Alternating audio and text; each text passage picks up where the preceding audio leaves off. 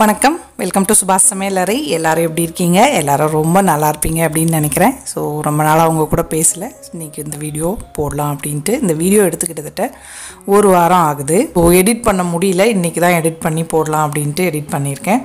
So கைவலி வந்து இன்னும் சரியாகலை. Physiotherapist வந்து அட்லீஸ்ட் ஒரு மாதமாவது ரெஸ்ட் எடுத்தீங்க அப்படின்னா தான் கொஞ்சம் சரியாகும் அப்படின்னு. ஏன்னா கைவலி இன்னும் இருக்குது ஒன் வீக் ஃபிசியோதெரப்பி போயிட்டு வந்தேன். ஸோ அதனால் இப்போ ரெஸ்ட்டில் இருக்கேன் நான். ஸோ இன்றைக்கி லஞ்சுக்கு பார்த்தீங்கன்னா காலிஃப்ளவர் சிக்ஸ்டி ஃபைவும் வெந்தயக்கீரை புலாவும் தான் செய்யலான் இருக்கேன். காலிஃப்ளவர் க்ளீன் பண்ணிவிட்டு அதை ஒரு கொதிக்கிற தண்ணியை ஊற்றி வச்சுருக்கேன். ஸோ ஒரு பத்து நிமிஷம் இருக்கட்டும். அந்த கேப்பில் பார்த்தீங்கன்னா கைக்கு வந்து கொஞ்சம் ஹாட் பேக் வைக்க சொல்லியிருக்காங்க டெய்லியுமே. ஸோ ஒரே கல்லில் ரெண்டு மாங்காய் தண்ணி கொதிக்க வச்சேன் இல்லையா? ஸோ காலிஃப்ளவரில் ஊற்றிட்டு ஹாட் பேக்கில் போட்டுட்டு வந்து ஒரு அஞ்சு நிமிஷம் உட்காந்து இந்த மாதிரி ஹாட் பேக் இது வச்சுக்கலாம் அப்படின்னு. ஏன்னா காலையிலே எக்ஸசைஸ் பண்ணிட்டேன். கொஞ்சம் குட்டி குட்டி எக்ஸசைஸ் எல்லாம் சொல்லி கொடுத்துருக்காங்க. ஸோ அதெல்லாம் காலையில் முடிச்சிட்டேன். இப்போ வந்து சமையல் ஸ்டார்ட் பண்ணலாம் அப்படின்ட்டு வந்தேன். ஸோ தண்ணி அதுக்கு வச்சப்போ இதுக்கும் நம்ம டபுள் இதாக யூஸ் பண்ணிக்கலாம் அப்படின்ட்டு பண்ணிகிட்ருக்கேன் இவனுங்க பாருங்கள் நல்லா ஜாலியாக உட்காந்துருக்கானுங்க ஸோ வெந்தயக்கீரை பார்த்திங்கன்னா ஒரு கட்டு க்ளீன் பண்ணி வச்சுருந்தேன். ஏற்கனவே வாங்கிட்டு வந்தப்பயே. அதை வச்சு தான் இன்றைக்கி இந்த புலாவ் செய்ய போகிறேன் இந்த சீசனல் இது பார்த்திங்கன்னா குளிர் காலத்தில் தான் வெந்தயக்கீரை எல்லாம் கிடைக்கும். ஸோ இதில் வந்து புலாவ் பண்ணோம் அப்படின்னா ரொம்ப சூப்பராக இருக்கும்.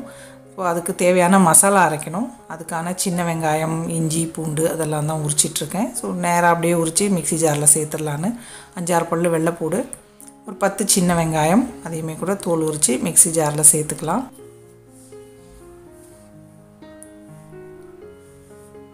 காரத்துக்கு ஒரு நாலு பச்சை மிளகா ஒரு இன்ச்சு அளவுக்கு இஞ்சி ஒரு ஏழு எட்டு முந்திரி பருப்பு. முந்திரி பருப்பு தேவைப்பட்டால் சேர்த்துக்கோங்க இல்லைன்னா வேண்டாம். ரெண்டு சில்லு தேங்காய்.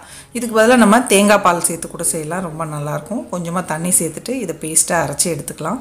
ஸோ இந்த சின்ன வெங்காயம் இதெல்லாம் சேர்த்து அரைச்சி செய்கிறப்போ ரொம்ப வாசனையாக இருக்கும். இப்போ வந்து சீஸ்னல் பார்த்தீங்களா இந்த வெந்தயக்கீரை இதெல்லாம் பார்த்தீங்கன்னா குளிர் காலத்தில் தான் கிடைக்கும். பட்டாணி வெந்தயக்கீரைலாம் ஸோ நல்லா சப்பாத்தியில் போட்டு செய்யலாம். உருளைக்கிழங்கு கூட சேர்த்து சப்ஜி பண்ணாலும் சூப்பராக இருக்கும். இந்த மாதிரி புலாவ் பிரியாணி ஸ்டைலில் பண்ணோம் அப்படின்னாலும் அதுவுமே கூட சூப்பராக இருக்கும். இப்போ பாக்கி இந்த புலாவுக்கு தேவையானதெல்லாம் கட் பண்ணிக்கலாம். வெங்காயம் ஒரு பெரிய சைஸ் வெங்காயம் எடுத்திருக்கேன். ஒரே ஒரு தக்காளி அதையும் கட் பண்ணி எடுத்துக்கலாம். ஸோ எல்லாம் ப்ரிப்ரேஷன் பண்ணி வச்சிட்டோம் அப்படின்னா ஸ்டவ் ஆன் பண்ணிவிட்டு கடகடன்னு எல்லா வேலையும் முடிச்சிடலாம். வெந்தயக்கீரை அலசி வச்சுருந்தோம் பார்த்தீங்களா அதையுமே கூட நல்லா பொடியாக கட் பண்ணி எடுத்துக்கிறேன். ஸோ கீரையெல்லாம் கட் பண்ணிவிட்டு அலசாமல் முதல்ல அலசிட்டு அதுக்கு அதுக்கப்புறமா கட் பண்ணோம் அப்படின்னா ரொம்ப நல்லது. ஸோ இப்போ கோபி சிக்ஸ்டி ஃபைவ்க்கு தேவையான மசாலாலாம் சேர்த்துக்கிறேன். தண்ணி சுடு தண்ணியில் போட்டு வச்சுருந்தேன் நல்லா ரெண்டு தடவை அலசிட்டு தண்ணி இல்லாமல் எடுத்துகிட்டு வந்திருக்கேன். அது கூட இப்போது மிளகாத்தூள் மஞ்சத்தூள் மல்லித்தூள் கரம் மசாலா இதெல்லாம் சேர்த்துக்கிறேன். ஏற்கனவே ரெண்டு மூணு தடவை சிக்ஸ்டி ஃபைவ் ரெசிபி போட்டிருக்கேன் அப்படின்னு நினைக்கிறேன். அதனால தான் க்ளோஸ்அப்பில் வச்சு காட்டலை. ஸோ தேவையான பொடிகள் எல்லாம் இது கூட சேர்த்துக்கலாம். கூடவே கொஞ்சமாக உப்பு எந்த அளவுக்கு தேவையோ அந்த அளவுக்கு. ஏன்னா உப்பு போட்டு தண்ணியில் ஊற வச்சுருந்தோம் அப்படின்னா அது கொஞ்சம் உப்பு இருக்க மாதிரி இருக்கும். அதனால் பார்த்துட்டு சேர்த்துக்கணும். ஒரு டீஸ்பூன் அளவுக்கு ஜிஞ்சர் கார்லிக் பேஸ்ட்டும் சேர்த்துக்கிறேன். முட்டை சாப்பிடுவீங்க அப்படின்னா முட்டை கூட சேர்த்து இந்த மாதிரி மிக்ஸ் பண்ணிக்கலாம். நான் வந்து முட்டை சேர்க்கறது இல்லை இதில். நான்வெஜ் சாப்பிட்றவங்க முட்டை சேர்த்து செஞ்சிங்கனாலுமே கூட நல்லாயிருக்கும். ஸோ மசாலாலாம் முதல்ல நல்லா மிக்ஸ் பண்ணிவிட்டு அதுக்கப்புறமா இதில் ஒரு டேபிள் ஸ்பூன் கடலை மாவு ஒன்றுலேருந்து ரெண்டு டேபிள் ஸ்பூன் அளவுக்கு மைதா அதே மாதிரி ஒரு ரெண்டு டேபிள் ஸ்பூன் அளவுக்கு கார்ன்ஃப்ளவர் அரிசி மாவு வேணும்னா கூட கொஞ்சமாக சேர்த்துக்கலாம். நல்லா மொறு மொறுன்னு சூப்பராக வரும். ஸோ தண்ணிலாம் தெளிக்கவே இல்லை பாருங்கள் மொத்தமாக இந்த மாதிரி மிக்ஸ் பண்ணிவிட்டு தேவைப்பட்டதுக்குன்னா அப்புறமா லாஸ்ட்டாக தண்ணி தெளித்தா போதும். ஸோ முதல்ல வந்து நம்ம அந்த இஞ்சி பூண்டு பேஸ்ட்டு இந்த மசாலாலாம் சேர்த்ததுலேயே வந்து நமக்கு காலிஃப்ளவர் அலசி தானே வச்சுருக்கோம். அதனால் நல்லா கோட் ஆகிடும் மசாலா. மசாலா கோட் ஆனதுக்கப்புறமா தான் இந்த மாவு வகைகள்லாம் போடணும். ஸோ அது வந்து இருக்கட்டும் அப்படின்னு வச்சுருக்கேன். ஒரு ஃபைவ் மினிட்ஸ் இருக்கட்டும். அதுக்குள்ளே நம்ம புலாவுக்கு வச்சுட்டு அதுக்கப்புறம் ஃப்ரை பண்ணோம் அப்படின்னா சரியாக இருக்கும்.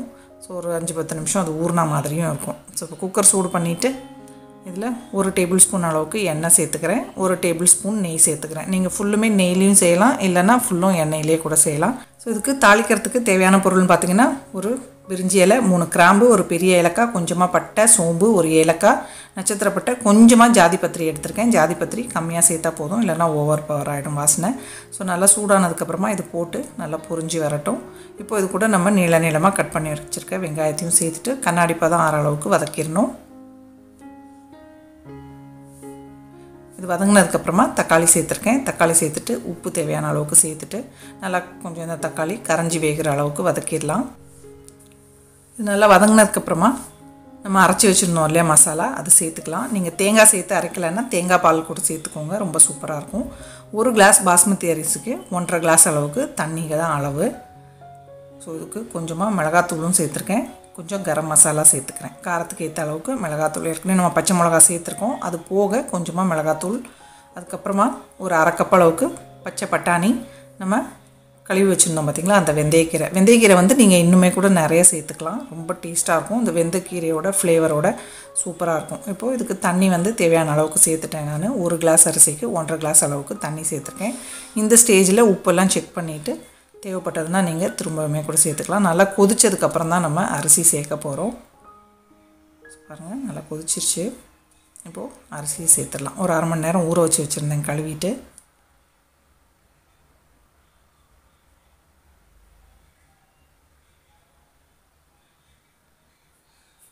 ஸோ உப்பு பார்த்தேன். கொஞ்சம் கம்மியாக இருக்க மாதிரி இருக்குது அதனால் கொஞ்சமாக உப்பு சேர்த்துட்டு மூடி போட்டு ஒரே ஒரு விசில் மட்டும் விட்டு எடுத்தால் போதும். ஸோ அது ரெடியாகிற டைமில் பாத்திரம் இருந்ததை கடகடன் கையோடு கழுவி வச்சுட்டேன். குக்கரும் ஆஃப் பண்ணிட்டேன். இப்போ கொஞ்சமாக பருப்பு வடை மாவு பாக்கி இருந்தது. அது போக சிக்ஸ்டி ஃபைவ் இது ரெண்டும் தான் இன்றைக்கி சாதத்து கூட வச்சு சாப்பிட்றதுக்கு செய்ய போகிறேன் ஸோ பருப்பு வடை வந்து ரெசிபி நான் ஏற்கனவே ஷேர் பண்ணியிருந்தேன் பாருங்கள் ரொம்ப சூப்பராக இருக்குது நல்லா மொறு மொறுன்னு செம டேஸ்ட்டாக இருக்கும். கட்டாயமாக ட்ரை பண்ணி பாருங்கள் நான் ரெசிபியோட இது வேணால் லிங்க் உங்களுக்கு ஐ பட்டனில் தரேன். ஐ பட்டனுங்கிறது வீடியோவில் மேலே ஐன்னு காட்டும். வந்துட்டுருக்கப்போ ஸோ அதை கிளிக் பண்ணிங்கன்னா அந்த வீடியோ பார்க்கலாம் நீங்கள் கொஞ்சம் தான் இருந்தது. ஒரு அஞ்சாறு வடைக்கும் மாவு இருந்தது. அதையும் போட்டு எடுத்துட்டேன். அரைச்சி கிட்டத்தட்ட ஒரு வாரம் வரைக்கும் வச்சுக்கலாம். நம்ம ஃப்ரிட்ஜில் வச்சா நல்லா தான் இருக்கும்.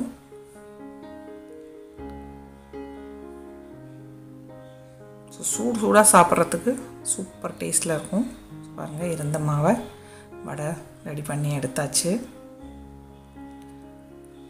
இப்போ அடுத்து நம்ம சிக்ஸ்டி ஃபைவும் போட்டு எடுத்துடலாம். ஸோ இதெல்லாம் ரெடி ஆகிறதுக்குள்ளே நமக்கு குக்கர் ஸ்டீமும் போயிருக்கும். நல்லா சுட சுட சாப்பிட்றதுக்கும் சூப்பராக இருக்கும். வடை சாப்பிட்டுட்டே சிக்ஸ்டி ஃபைவ் போட்டுட்ருக்கேன் கைப்புலியும் வேலை பார்த்துட்ருக்கான். இப்போல்லாம் வீடு பார்த்தீங்கன்னா ஒரு வாரத்துக்கு ஒரு தடவை தான் துடைக்கிறேன். வேலைக்கு ஆள் தேடினா கிடைக்கல. ஸோ அதனால் எந்த அளவுக்கு கம்மியாக வேலை செய்யணுமோ அந்த அளவுக்கு செஞ்சிட்ருக்கேன். அதனால தான் வீடியோஸும் என்னால் போட முடியல. சாரி அட்லீஸ்ட் ஒரு ஒரு மந்த்தாவது ரெஸ்ட் எடுத்துகிட்டு தான் வீடியோஸ் டெய்லி போட ஸ்டார்ட் பண்ணுவேன். ஸோ நடு நடுவில் என்னால் முடிகிறப்ப இந்த மாதிரி வீடியோஸ் போடுறேன். ப்ளீஸ் நமக்கு சப்போர்ட் பண்ணுங்கள் வீடியோ பார்க்குறத விட்டுறாதீங்க. அதே மாதிரி வீடியோ பிடிச்சிருந்ததுன்னா ஒரு லைக் கொடுக்கவும் மறந்துடாதீங்க ப்ளீஸ் ஸோ பாருங்கள் நல்லா கொதிக்க கொதிக்க ஆவி பறக்க புலாவ் ரெடி ஜஸ்ட்டு ஃபோர்க் வச்சுட்டு ஃப்ளஃப் பண்ணி விட்டுக்கலாம். கரண்டி போட்டு கிண்ணோம் அப்படின்னா ரொம்ப குல ஆகிடும் ஸோ நம்ம லேடிஸ்க்கு எல்லாருமே நம்ம ஹெல்த்து தான் முக்கியம். நமக்கு ஏதாவது ஆச்சு அப்படின்னா குடும்பமே அப்படியே ஒரு மாதிரி டல் ஆகிடும் ஸோ அதனால் முதல்ல நம்ம இதை பார்த்துக்கணும். அதனால தான் கொஞ்சம் ரெஸ்ட் எடுத்துக்கலாம் அப்படின்ட்டு இருக்கேன். இது வந்து கட்டாயமாக தேவையும் கூட தான் ரெஸ்ட் வந்து. ஸோ பாருங்கள் சூப்பராக புலாவ் வந்து பிளேட்டிங் பண்ணிட்டேன். நல்லா வடை அண்ட் இதோட சர்வ் பண்ணுறேன் மெத்தி புலாவ் சாப்பிட்டு பார்க்கலாமா?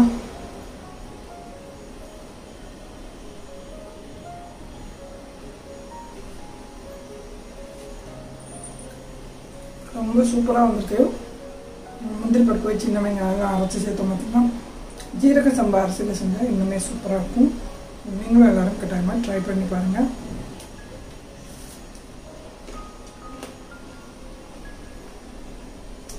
இந்த வீடியோ உங்களுக்கு பிடிச்சிருக்கும் அப்படின்னு நினைக்கிறேன். பிடிச்சிருந்ததுன்னா லைக் பண்ணுங்கள் ஷேர் பண்ணுங்கள் மறக்காமல் நம்ம சேனலுக்கு சப்ஸ்கிரைப் பண்ணிக்கோங்க.